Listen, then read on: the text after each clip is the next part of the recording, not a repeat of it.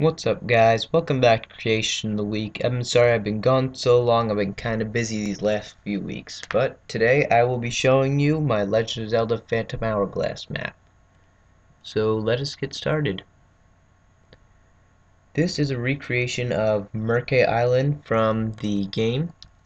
And uh, took almost six months to build with breaks in between and it's still not finished so it's a pretty big project but for right now I will show you around. So where I just spawned in is the beach that you start at in the game and then you head over here and you go to the old man's house and you do some training and things there. Then there's like a little side quest here at this neighboring house and then you go to this cave right next door to the old man's house and you get your sword. And then after that you come back here to this cave which I'm going to show later. But for right now um, the reason you can go through that cave is because the bridge here between the two parts of the island is broken so you have to go through that cave which leads out to right here. And so I will show you the village now. This is the item potion shop. This is the milk bar. Over here is just a citizen's house. And then over here is the treasure shop and the uh, ship part shop. And then here is the shipyard where you can put those parts onto your ship, which is right here. So now from here we will go back to this place behind the village. And uh, this is just like a way to get to the ocean temple. It's just trees and grass and all that. But then um, once you get back here this is the ocean temple.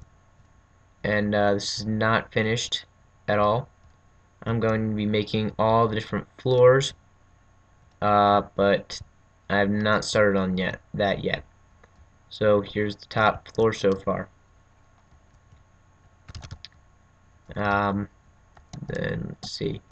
There's also a cave system right here which I have not put in yet, and that'll lead out over here. Then I guess I'll show you the cave system now. So this cave connects all the way over there like I showed you before, but it is not actually underneath the island. I had to use command blocks for that. So what you do here is you take the key out of this chest, put in these hoppers, and it will open the door here. And then I just screwed this up a little bit earlier. And what you do is there are uh, signs over there that tell you the combination for the door. And um, once you have that combination, uh, the doors will unlock. And then here is the same thing as the first room where you have to get a key. Um, in games from like a rat or a mouse, you get the key and then you put it in the hopper. But I need to figure that out still. And then after that you just walk through the rest of the cave and then you get teleported back out onto the other side here.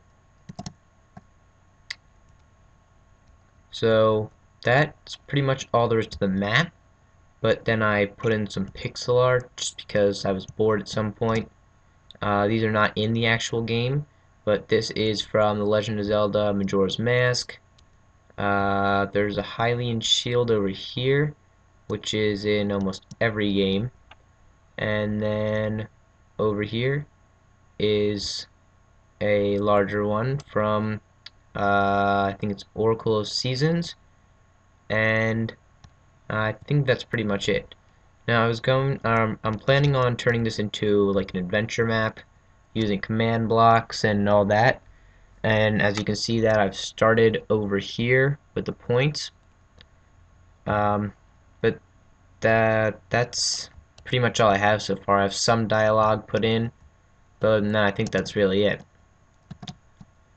So, uh, I think that's it for this creation of the week. Thanks for watching, and if you have any suggestions for what I should build, put in the comments below.